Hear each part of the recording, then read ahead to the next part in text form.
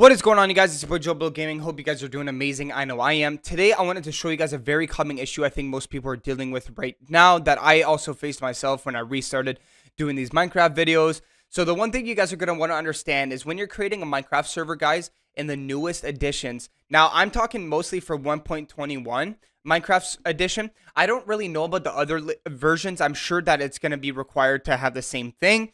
But let me show you guys what the issue I'm having. But let me show you guys the issues I'm having when I try to run a Minecraft server in 1.21.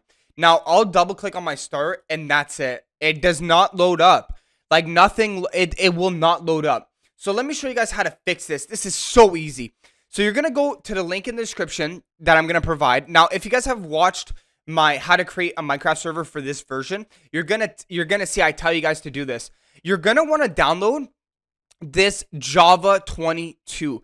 This is what you need, the latest Java edition, to be able to uh, play your Minecraft server for 1.21. So make sure you download the Java 22. I'll leave the link in the description and I'll show you guys. Once we actually install this, it's going to actually launch our server. I was having this issue and I was wondering why. And I remembered here it is, it downloaded. But I remember that in my old versions of Minecraft, I always had to download uh, Java SE Development Kit 17, and then my servers were loading up.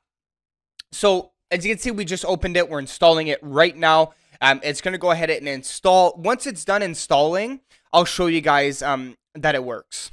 Okay, so you can see it was successfully installed. Let's close that out and let's start our server. So as you can see, it automatically is starting. It's not even running. It's completely starting. And that's pretty much it. So it's gonna, uh, well, right now it's just loading. But that's pretty much how you do it, guys. You can see it automatically did not shut down. Its server will start in 20 seconds and you're good to go. So that's basically how you go ahead and you install Java um, and you fix your Minecraft servers from not running.